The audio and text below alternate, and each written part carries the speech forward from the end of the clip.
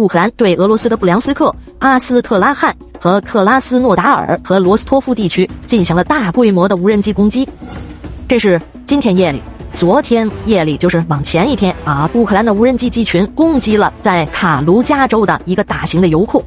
在视频里边能看到，至少四个大油罐打的是大火冲天，起就完全爆炸了。与此同时呢，也在昨天啊，乌克兰无人机还袭击了在卡卢加的一个台风工厂，这是一个军工企业，为俄罗斯军队生产台风雷达，这是一种型号，把那儿打的也是火光冲天。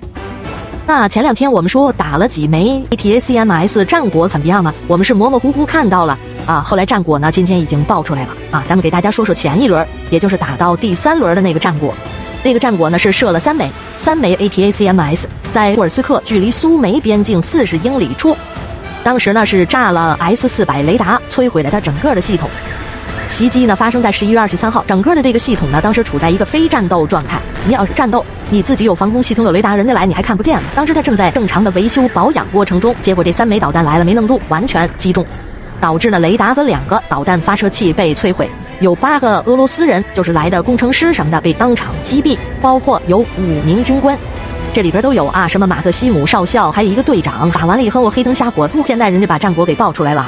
然后在昨天上演了第四波远程打击，大家别忘了啊，这第三波、第四波都是在普京做完了他那个所谓的什么洲际导弹秀之后，人家这儿就跟没发生一样，该干啥干啥。昨天这第四波远程打击动静可太大了，打的是库尔斯克哈利诺军用机场。目前的报道是六枚 ATACMS 导弹击中了机场。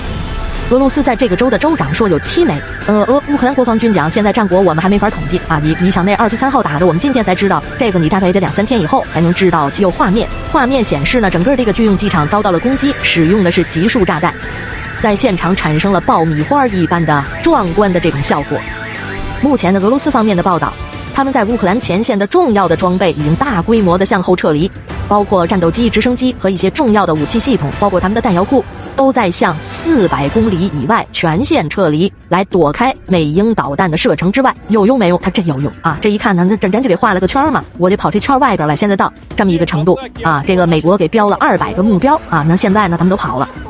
俄罗斯媒体呢也评估，那乌克兰用于远程打击的现代的美英导弹到底有多少啊？他们这儿的评估大概是七百到八百枚之间。这就在这个时候，法国刚刚宣布要送给乌克兰一种新的杀器，一种隐形巡航导弹。你雷达还找不着，射程多少？一千公里。我不知道他给多少啊？这是在乌克兰的武器库里，如果一千，这就是最远射程的导弹。具体的参数，过两天我们就知道了。